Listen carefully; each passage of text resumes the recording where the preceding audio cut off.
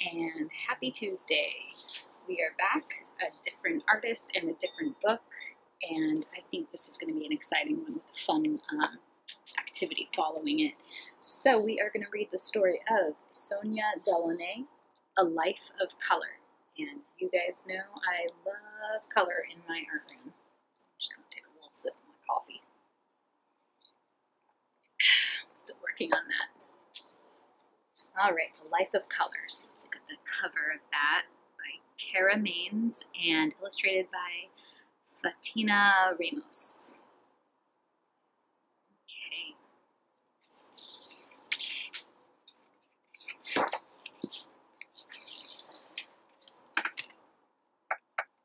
Ready? I'm ready. Now I'm ready. All right, here we go. Charles was looking for his toy horse. He searched behind the chair, under the rug, and in every corner of his room. He reached in the back of his dresser's top drawer and found, tucked among his socks and trousers, a blanket made of fabric patches of many different colors. It looked familiar. It felt familiar. It even smelled familiar, but he could not remember why.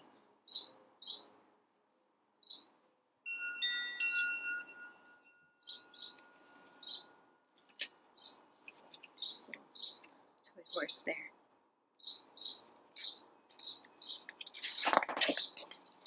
Whose blanket is this? Charles asked his mother, Sonia. Sonia was an artist. So was Charles's father, Robert, and many of their friends. It's yours, Sonia replied. I made it when you were just born to keep you warm in your cradle. It reminded me of the patchwork blankets that people made in Ukraine, the place where I was born, far from our home in Paris. But your blanket is special. As I stitched together the little pieces of fabric, I could almost hear the colors singing. Charles pressed his ear to the blanket. Mama, you must have been you must have really good ears because I can't hear anything. Sonia thought for a minute. Your ears work just fine, but there are many different ways of listening.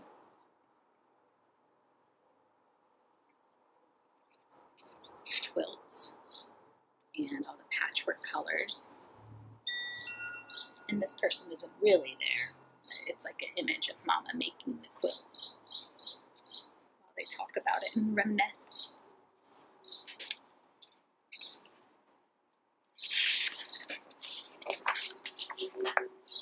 Your blanket changed the way I thought about colors, Sonia said.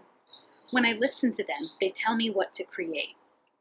What do they tell you, Mama? Sonia thought again. Why don't we look at the color? Why don't we let the colors speak for themselves? She took Charles by the hand. Come with me. While I shoo my cat away from the plants. Polly, get off the plants. Get down. Get down.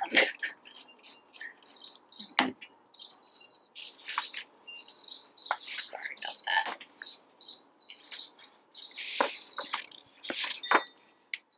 Their car roared as it zoomed through the streets of Paris. Charles shrieked with delight as they barreled along faster and faster. Suddenly, the car lifted into the air. This would be no ordinary trip. Over the noise of the engine, he yelled, Where are we going? Close your eyes, Sonia advised, and follow the sounds of the color. That looks like a fun trip to me. Flying car through patchworks of color.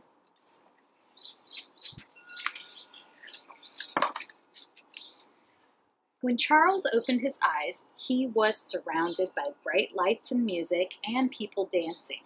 He couldn't help himself. He tapped his feet and clapped his hands.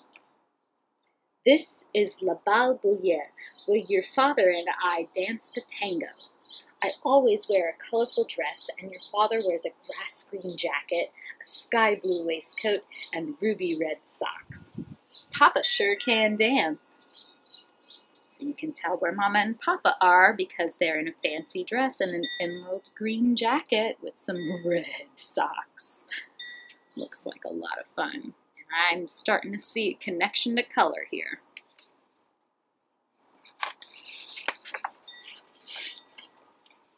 Try to feel the colors and the music together, Sonia encouraged.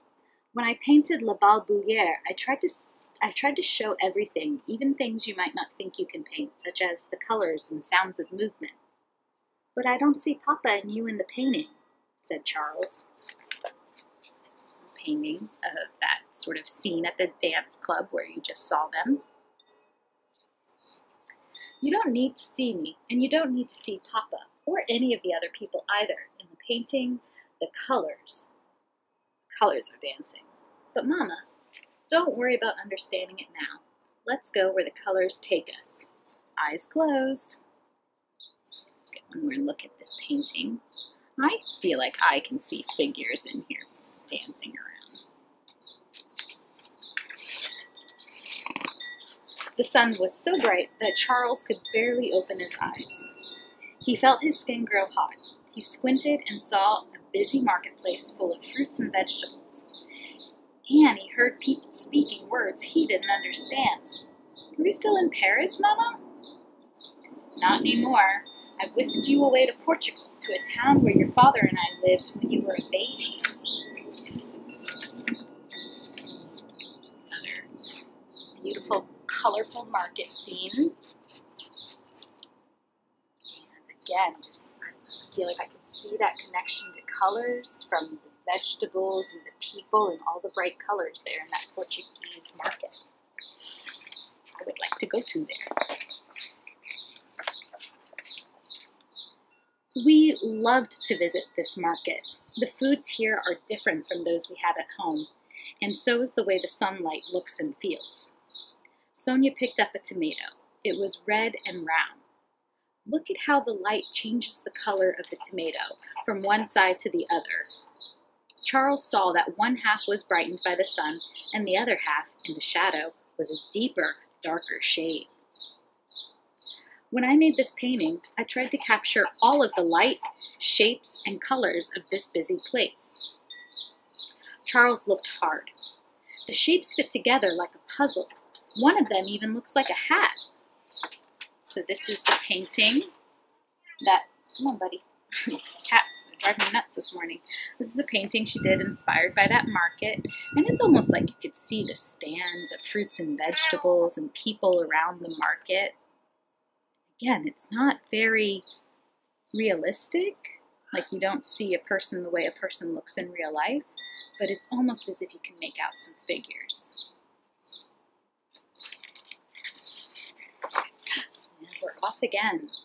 We have one last stop, Sonia said as they blasted off in their colorful car.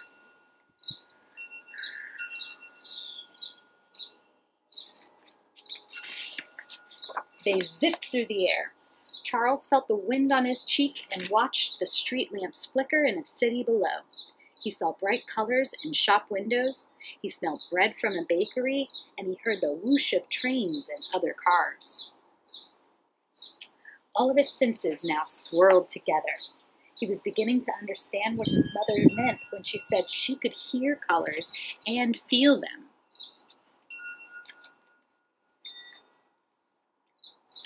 again, patchwork colors of the building. I feel like I see that connection coming together. The sounds of the city and how it can inspire color. We've just arrived in Amsterdam, Sonia said, at a store that sells the fabrics I design. Mm, there's the fabrics, beautiful, colorful patchwork fabrics. Do you see, Charles, how we experience all of these lights and colors and shapes, sounds that surround us at the same time or simultaneously? I make designs for cars, furniture, and fabrics because besides being looked at, art can be driven, sat on, or worn. Art is all around us, always.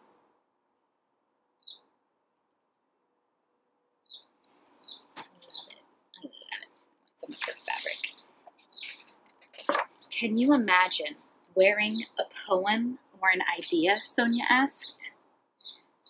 In a pile of clothes, Charles spotted a pair of silk pajamas printed with one of Sonia's bright, bold designs. I want to wear an idea, he said. Can I try them on?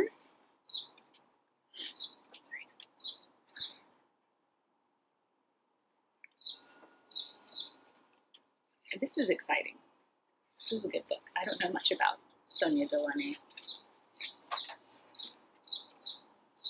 Charles pulled on the pajamas. The smooth, soft fabric slid over his skin. He felt weightless, as if he were floating.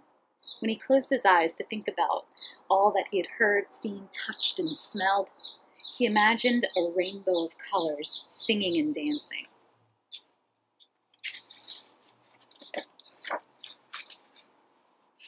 It's getting late, warned Sonia, and tomorrow is another day with even more to discover. But, Mama, I'm not sleepy yet. I have so many colors and sounds and ideas in my head. I can imagine the inspiration that might strike me as well after being surrounded by so much color and smells and wonders.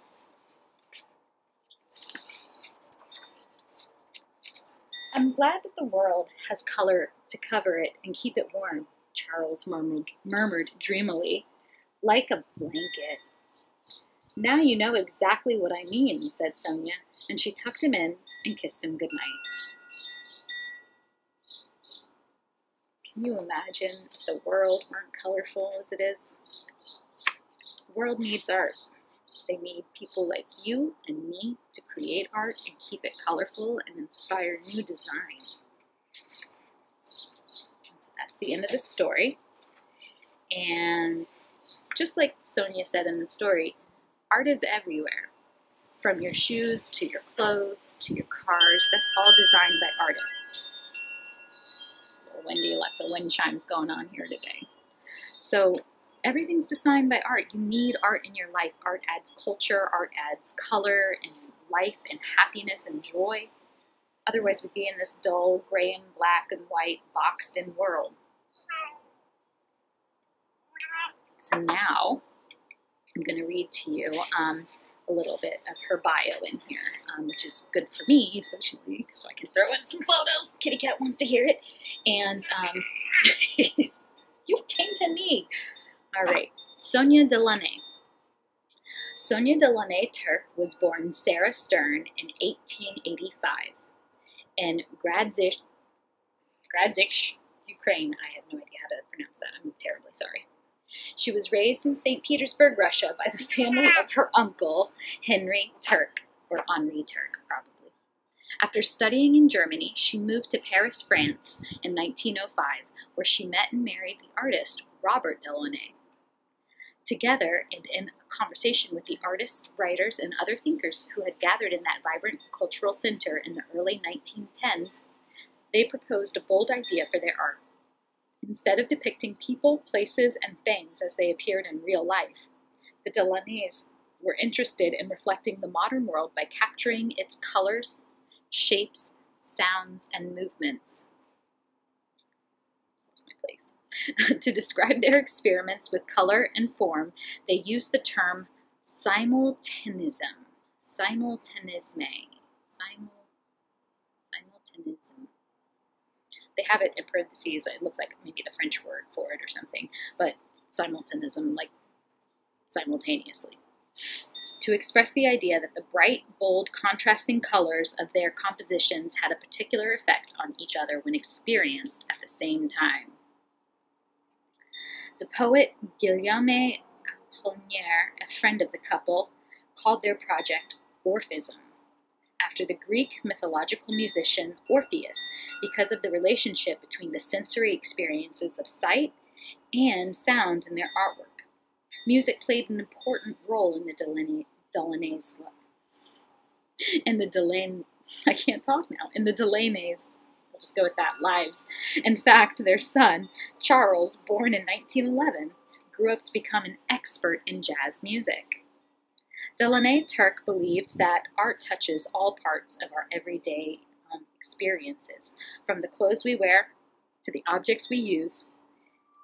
And in addition to paintings, she also designed and produced fabrics and other products until her death in 1979 at the age of 94. What a long, wonderful life she lived. So the um, pictures that uh, we saw were pictures of her artwork. Um, and we got to learn a little bit about what they were inspired for, about the market, about the dance club. One was the poem robe, and um, the very first one um, was just like electric prisms. So I hope you enjoyed that, and in a moment I'm going to share with you my plan for um, what you can make inspired by the story.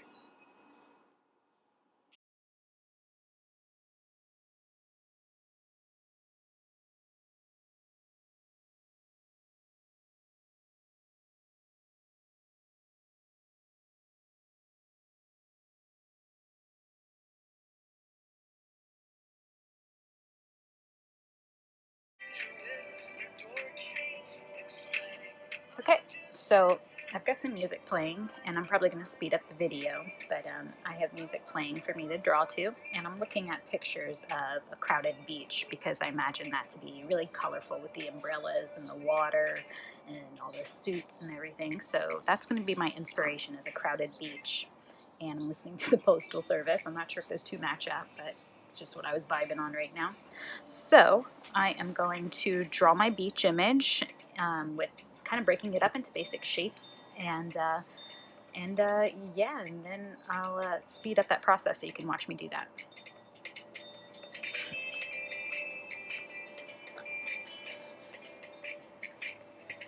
Oh, and I'm not going to use rulers or anything. I'm just going to freehand my shapes.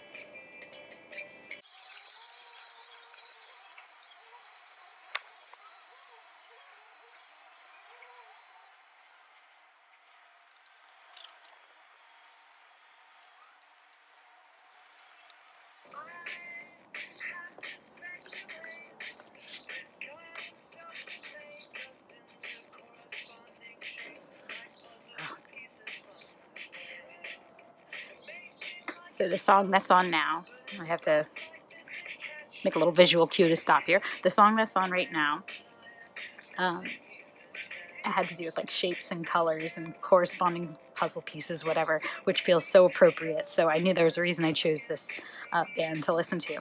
So just to give you a breakdown of what I've done, this is sort of like the tide in the water.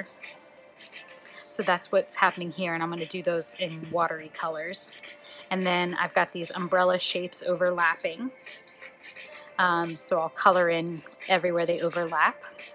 And now I'm kind of putting in these rectangular shapes that are supposed to look like towels or beach blankets.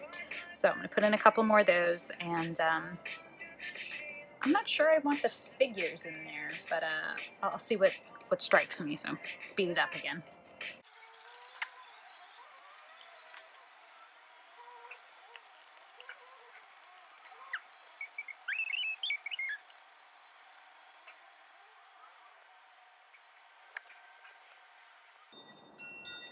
Alright, I've decided I don't like this. I'm going to get rid of that. But I've basically got what I want. So these are my beach towels. This is just the kind of background space, but could also look like poles of the umbrellas. These are the umbrellas. The circles are people. That's my beach line. So I think I'm actually just going to kind of repeat that. All right. I am ready for color. So I filled up my space completely of shapes. I kind of like how it's really busy here and then your eyes are allowed to just rest down here. So I'm going to embrace that. Now, what I'm using are watercolor crayons because I love them and I haven't used them in a while. But you could use anything. You could use watercolor paint, crayons, markers. You could even build this up out of fabric. So I'm um, just going to start coloring and I'll probably speed through a lot of it and then I'll stop and slow down to show you how they work once you've done colored. Um, and I will say too, what I like about watercolor crayons is that um, I don't have to color too neatly with them because the when you add the water, that's where the magic comes. Picking my watercolors.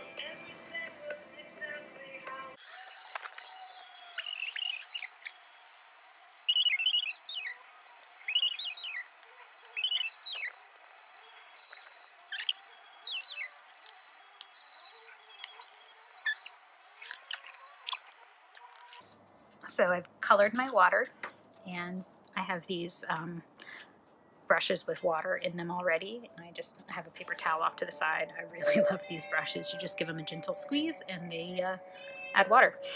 Um, so I'm going to go in and do my lighter colors first. And all I got to do is rub my wet brush on it and smooth out the color. And so that's why it doesn't really matter if I don't color in perfectly because the water smooths it out. I will speed up this part, but I'm going to go from the light colors to the dark colors.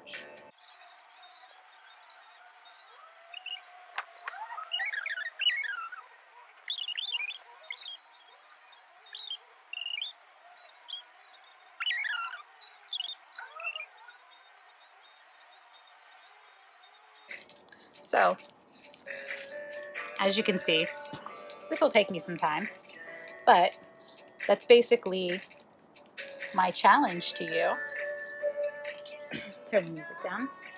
I want you to think of a scenery that is colorful and that you enjoy and that you wish you could be in or around.